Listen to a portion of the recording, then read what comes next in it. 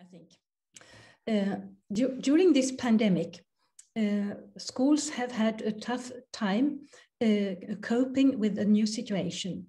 But uh, it is very clear that those schools who have an, a good curriculum, who have a reliable staff, who have good textbooks, who have already accustomed their students to working in a regular way, to evaluations, tests, if you want, uh, they do well also during the pandemic. Maybe a bit less well, but they do well. So there's no really, there's not really uh, a new situation. Uh, it's a difficult situation, but the kind of qualities that make a school good also make the schools good during the pandemic. I would like to uh, comment upon two books um, that have been published this year of pandemic. 2020. Two books from the United States. And the first one is by E.D. Hirsch and is called How to Educate a Citizen. Uh, the author is worried about the situation in the United States, about social fragmentation, conflict, and he says, why, why don't people look more to schools? Schools can be healing. And uh, he speaks about a coherent curriculum, well chosen, developed, demanding, and how this uh, could help both teachers and students. And he speaks especially about the first year of, uh, of, of the obligatory school, the, the elementary school and middle school. Uh, and um, what is his, his main uh, object, his main um, figure of speech is the classroom as a community, as a speech community, as a knowledge community uh, for developing the students into citizens. Uh, and what he says is you, you, you must have a coherent curriculum so that the students each year know more and more and have a better and better vocabulary so that they understand more and that they understand the same things in order to form a community, which will be like a, a small society and will accustom them to living in society. Uh, what he has done with his what he calls a core curriculum, uh, he has uh, he has um, accomplished a small miracle, and that is to make uh, schools in difficult districts get very good results too, because there are more than a thousand schools that follow his core curriculum program. And what he suggests is really very simple, very traditional, if you want to. It's a good curriculum with a lot of history, geography, literature, reading, vocabulary studies, mathematics, etc. A good or a good curriculum, well developed, but what is different maybe is that he makes the teachers adhere to the curriculum so that there are no overlapping and no voids for the students they they go along nicely and they learn more and more. Uh, he's especially happy that the that minority students do very well in his classrooms because they hear in school everything they need to get along. So this is the first book I wanted to talk about, and the second one is also from the United States, as I said, by Thomas Sowell. And Thomas Sowell is an economist and he uh, presents something which has uh, similarities to the program uh, that Hirsch presents, but his point of view is more from the economic side, which is natural uh, given his background. And he has found, a bit by chance, that the city of New York is a kind of laboratory for uh, education. Uh, in New York, in the public school system, uh, students are mainly Afro-American or Spanish, Spanish-speaking Hispanics. They have more or less the same social and economic status, and they even study in the same kind of buildings. Uh, when I say in the same kind of buildings, uh, I, um, we, we are getting to the point that Thomas Sowell wants to make.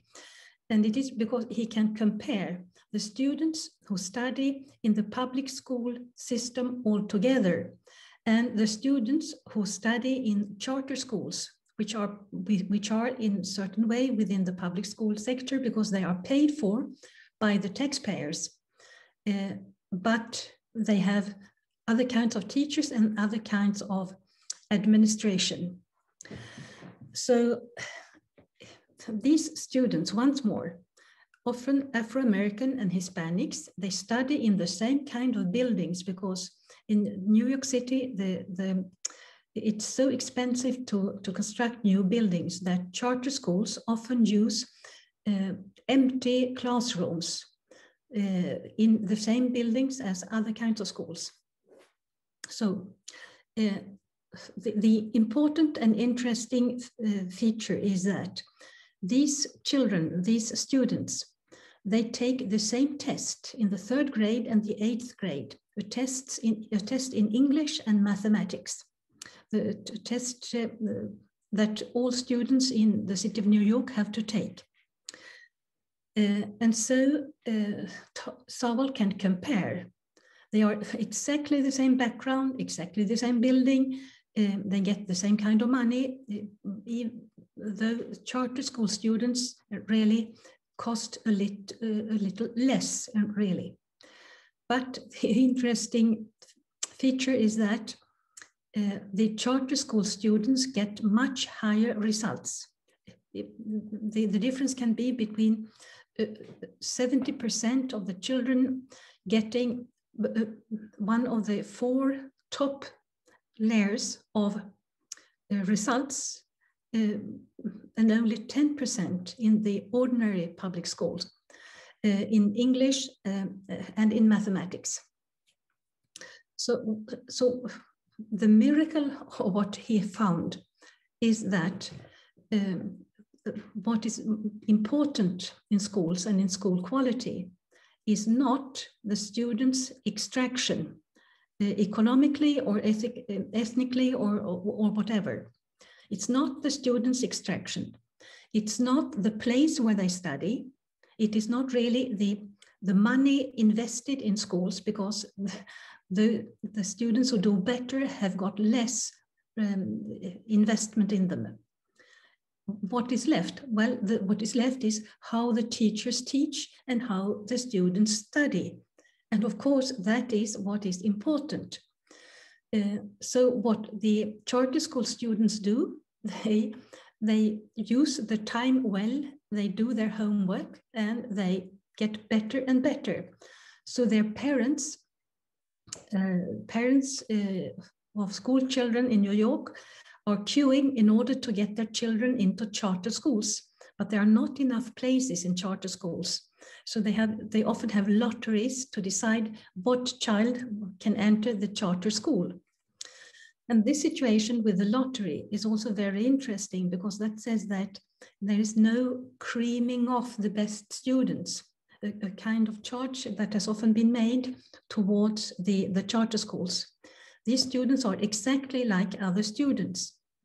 And for example, one school called the Success School uh, takes each year 3,000 students, but there are some 14,000 students who have applied to the schools but cannot be accepted because there are not enough places. So there are 14,000 students in ordinary schools who would be charter school students if they could, but they get uh, results that are way below the other results.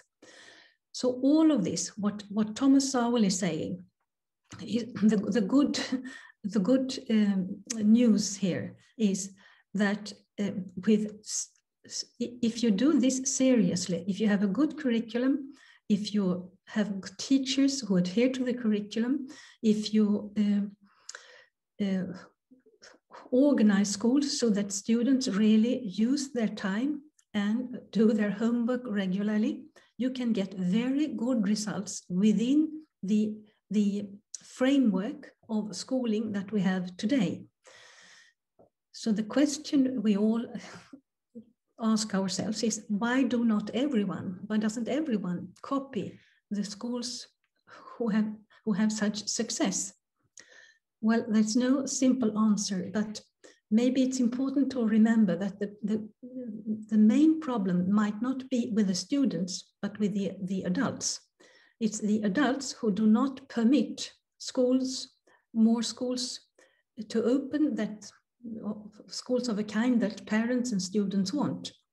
So it's, it's an adult problem. It's a social and political and pedagogical problem among the adults. That might be uh, really good news. if that is good news or bad news, it's difficult to say, but it's solvable. If we want to solve it, we can solve it. And, and that should be uh, a, a positive thing. So just wrapping up this, this uh, short, um, uh, these reflections upon the time that we are in, is that pan the pandemic is difficult uh, for everyone, but what is a solid and good work in education in ordinary times is also solid and good work in, in, in a pandemic. And the second thing is that our problems in education are solvable. We just have to go about them the right way. But there are models that we can follow and it can be done. So uh, we will end on this positive note.